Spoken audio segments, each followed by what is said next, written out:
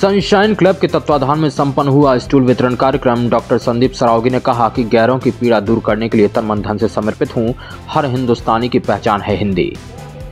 विश्व हिंदी दिवस के उपलक्ष्य में शिवपुरी मार्ग, झांसी स्थित महाराजा अग्रसेन सरस्वती विद्या मंदिर इंटर कॉलेज में सनशाइन क्लब के तत्वाधान में नवीन श्रीवास्तव की अध्यक्षता में संपन्न हुआ स्टूल वितरण कार्यक्रम। सनशाइन क्लब, संघर्ष सेवा समिति एवं महाराजा अग्रसेन सरस्वती विद्या मंदिर इंटर कॉलेज मंदिर के समस्त पदाधिकारियों ने शिक्षकों एवं बच्चों की उपस्थिति में माँ सरस्वती के समक्ष दीप प्रज्वलित कर कार्यक्रम की शुरुआत की। अतिथियों के स्वागत में विद्यालय के बच्चों द्वारा स्वागत गीत प्रस्तुत किया गया। कार्यक्रम संयोजक दिनेश पाठक ने बच्चों को विश्व हिंदी दिवस के बारे में बतलाया कि हिंदी हमारी मातृभाषा है और हम इसको अपने व्यवहार या बोलचाल में हमेशा लेते हैं। ये संपूर्ण विश्व में कई देशों में बोली जाने वाली भाषा है। प्रधानाचार्य अखिलेश कुमार तिवारी द्वारा बताया गया कि आपके दिए हुए स्टूल से छात्रों की बहुत बड़ी समस्या हल हो गई है। इसका हम हृदय से आभार करते हैं।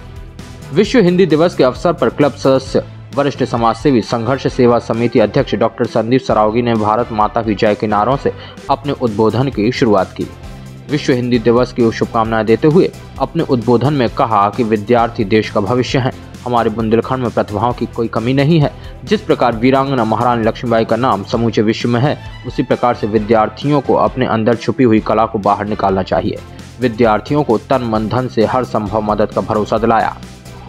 कार्यक्रम में क्लब के कोषाध्यक्ष संजय कनौडिया, श्याम मुरारी अग्रवाल, वैदेही शरण सरावगी, अशोक अग्रवाल पीएनबी प्रमोद अग्रवाल, नवल अग्रवाल, संतोष कुमार अग्रवाल, धर्मेंद्र दुबे, नीलेश मोदी, अशोक अग्रवाल काका, संजय यादव आदि उपस्थित रहे।